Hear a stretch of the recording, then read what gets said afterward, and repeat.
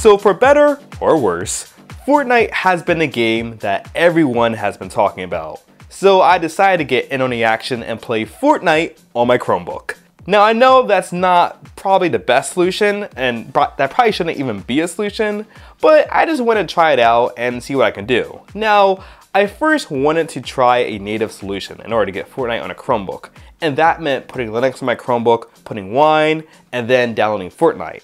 Unfortunately, the anti-cheat system implemented in Fortnite does not have a Linux version, it's not compatible with Wine, so it is not going to work within Linux, so I couldn't do that option.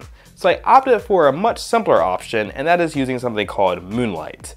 So Moonlight is a completely free and open source client that you can use to stream games to practically any device. It works with NVIDIA's game streaming, so if you have an NVIDIA graphics card 600 or higher, you can stream games to any device, and using Moonlight, it'll work on a Chromebook, it'll work on Android, you can even stream to a browser tab, and that's really awesome. So like I said, using this, I was able to stream Fortnite to my Chromebook, and the performance was awesome. Now again, this is going to depend on your network speed, but for me, I did not really notice any apparent latency.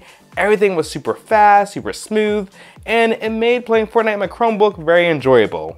So guys, if you want to play Fortnite on your Chromebook or your Android or in a browser tab or basically anywhere, even on a Raspberry Pi, you can do this using Moonlight. So definitely give it a try. If you like this video, definitely give it a thumbs up. Tell me what you think in comments below. As always, thanks for watching and stay tuned for another galvanizing video. Thanks.